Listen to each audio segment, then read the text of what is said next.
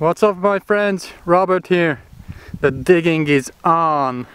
This is the second day. Yesterday I dug up this uh, this pepper bush over here and today I uh, dragged it over there into the pile next to the fence next to the fence. This front area here this can you hear the birds? Exotic birds, the neighbors, parrots and stuff.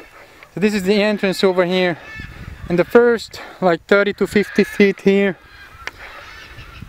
this is gonna be an area for uh, for mulch and uh, you know compost organic matter whatever organic matter I can get my hands on. Logs bushes branches mulch horse manure leftover from farms everything goes in here huge piles this is in a year in a year you're gonna see a mountain here. It's gonna be like 50 feet high maybe maybe even higher. You're gonna keep piling it up. But I cannot really go 50 with the backhoe but probably like 30 anyways this is the one of the bushes here. And I dug up uh, this other big uh, huge bush too. These are all Brazilian peppers. You have to get rid of them by the law. They are invasive species so you cannot have them on your property. You need to dig them up or cut them down and poison the roots. So I rather dig them up and let them uh, break down and become uh, uh, compost. So so yeah this is my practice digging up bushes.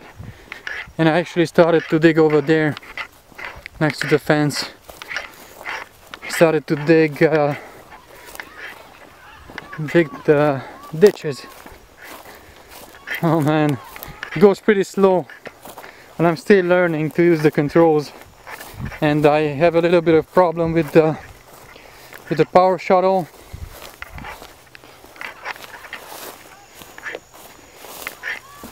I can't seem to find the the neutral uh, position.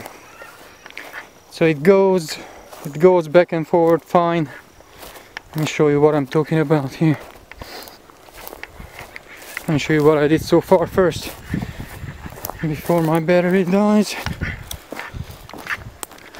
So I started over here and I'm uh, I don't have a plan yet but I think I'm gonna draw one up just to see how it's gonna look.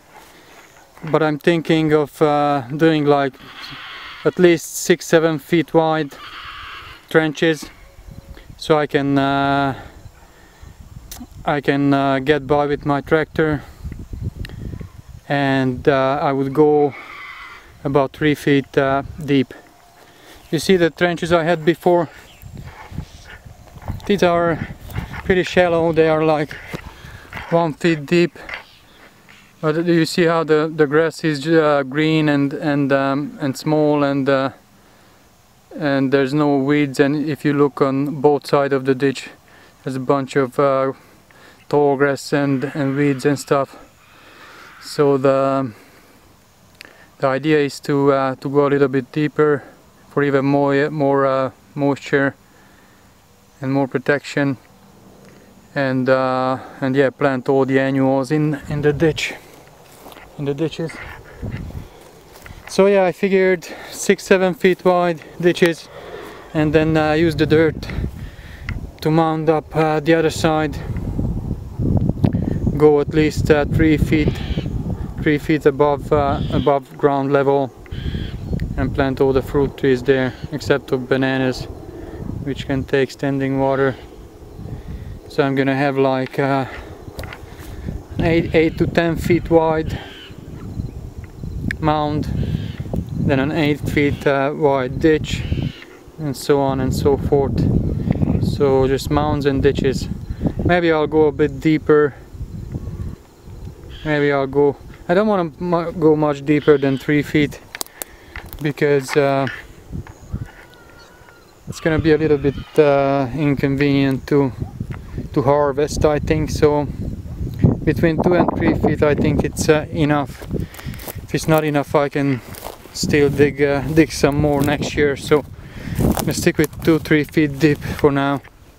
7 feet wide and the mounds 6 feet wide maybe Alright, so I have the this lever here for the power shuttle. This is the reverse, this is forward, and uh, I believe there there there should be a, a, a neutral position in the middle, but I can't seem to find it.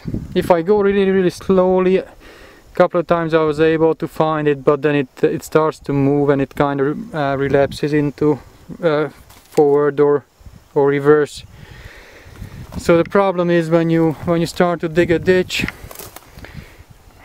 you can do like six to eight feet at a time and then you have to uh, you have to pull forward a little bit. So you pick up the you keep pick up pick up the the side legs the pegs pick them up like uh, six uh, seven inches from the ground. And then this is how my neighbor explained it. So you just you leave it in first gear put the shuttle in neutral and when you want to want to move forward you just pick up the legs and you just without because uh, you know turning turning from the backhoe to the wheel and then putting into gear and it, it would take too much time. So you leave it in first gear then you just dig and then you just uh, just uh, reach back with uh, with your hand and just tap it in forward and it's gonna it's gonna roll forward um, five six feet and then you bring it back into uh, neutral and you're gonna lower the legs again and start and start digging again. So you don't you don't have to turn around you just uh, reach behind your back.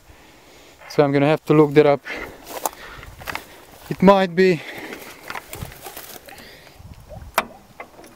you see that command block? Might not show on the camera it's a bit blurry. But there's a command block here where the clutch and uh, and the power shuttle uh, connects to the torque converter this is all hydraulic. So I, I think there there's uh, there are some worn out uh, o-rings uh, or seals in there.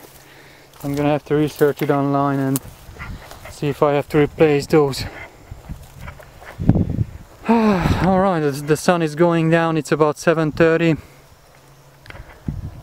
it's uh, March 17th or 18th somewhere around there.